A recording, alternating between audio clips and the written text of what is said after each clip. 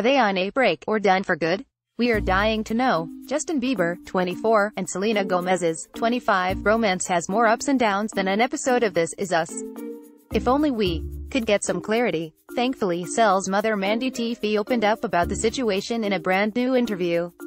However, along the way she revealed that there's apparently a lot she and her daughter don't discuss. When asked what's really going on between Justin and Selena she told E! News, you would know before I did, at the Alliance for Children's Rights 26th annual dinner in Beverly Hills on March 28. We don't talk about it. Yikes. This shocking revelation arrives just hours after one of our insiders reported that the Biebs was spied attending church with his new lady friend Baskin Champion, 22. Justin was sitting front row at church last night with his friend Patrick.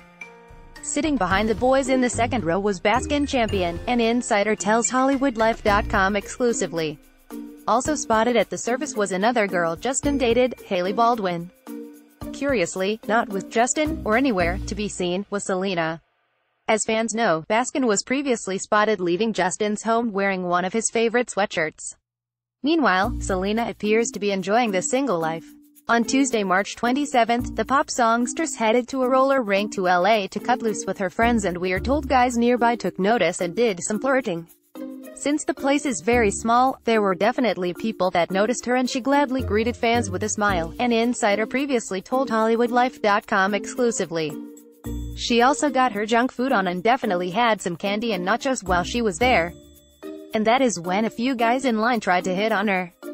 You could see that she enjoyed it but it didn't get any further than the concession stand, as she went back on the rink to skate the night away. She certainly sounds like she's moving on.